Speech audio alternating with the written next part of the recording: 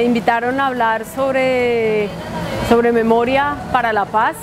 que por cierto es la única, el único objetivo realmente de la memoria,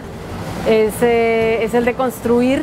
paz y por lo tanto estamos hablando de, construir futuro. Lo que estuvimos hablando con ellas fue a través de una experiencia personal del proceso que yo he venido liderando estos años, eh, cómo la memoria es eh, un mecanismo y una herramienta eh, de interlocución y de relación no solamente con las instituciones, también con la sociedad, con,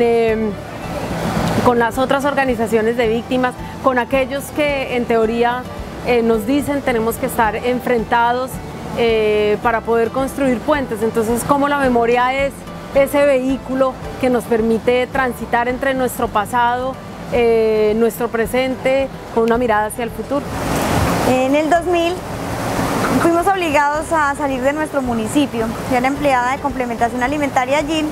y nos desplazamos hacia el municipio de Medellín y allí emprendimos un proyecto económico en pos de mejorar la calidad de vida de las personas que llegamos y que teníamos que sobrevivir. Bueno, es un evento muy importante, muy interesante, sobre todo eh, sensibiliza mucho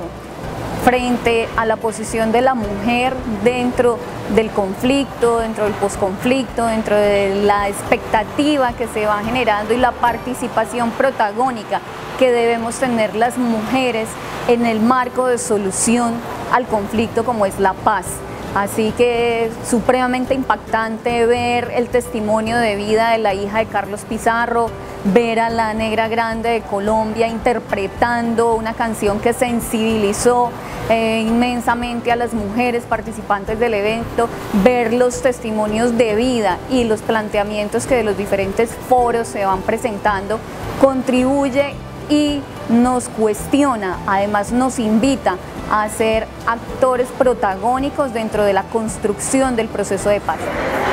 Bueno, estamos en el foro La Paz tiene nombre de mujer que ha reunido a lideresas del Comité de Mujeres de todas las mesas departamentales del país, así como los comités de violencia sexual. Se han reunido con alcaldesas, con gobernadoras, con funcionarios del gobierno nacional y funcionarias de organismos de cooperación.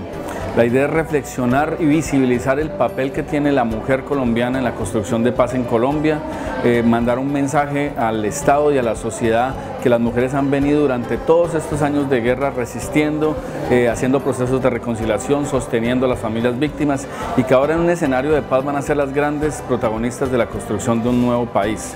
En el marco de esta campaña eh, y de este foro, pues se ha reflexionado sobre cuál debe ser la educación que necesita la paz en Colombia, cuál debe ser la infraestructura que necesita la paz, cuál es la cultura, cuál es el proyecto de memoria histórica y cuál es la reparación con perspectiva de mujer que se necesita implementar una vez lleguemos a un final feliz en los acuerdos.